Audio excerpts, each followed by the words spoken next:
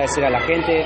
Realmente este es un día de trabajo hoy. La gente ha, ha puesto mucho de sí misma para, para, poder venir con este frío y demás. Este, la verdad que, que la causa era muy linda, era importante. Tratábamos de, de, bueno, de dar lo mejor y yo creo que la gente aportó así.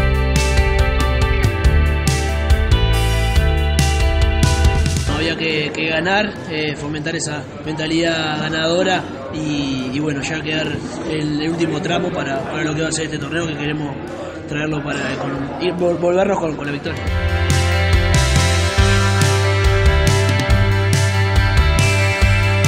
Sirve porque además es el único partido que tenemos previo a la Copa, sirve para, para tomar minutos de fútbol eh, en conjunto, a mí también me sirve porque tengo pocos partidos con, con los compañeros y bueno, eh, creo que es importante.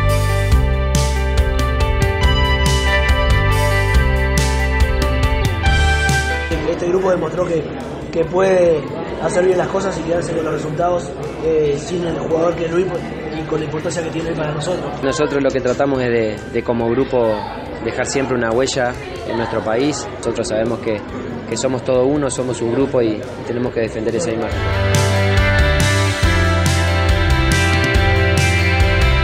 Vamos queriendo, queriendo traernos la copa. Este, vamos a ver, va a ser duro, va a ser muy difícil. Hay selecciones que, que se están preparando igual que nosotros para eso. Este, y es verdad que tenemos un objetivo principal que, es el de ir a Rusia, pero no quita que no podamos de repente traernos este torneo, que sería muy lindo porque es una celebración de un torneo al que a Uruguay siempre le ha ido bien y tenemos que, defender esa, esa imagen que tenemos no solo acá en América, sino a nivel mundial.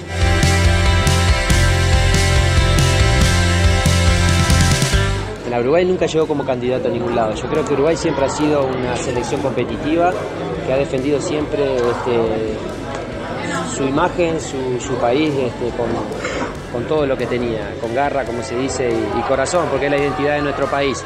Así que iremos con las mismas ilusiones que vamos a todas las competiciones, tratando de llegar a lo más alto posible, como siempre.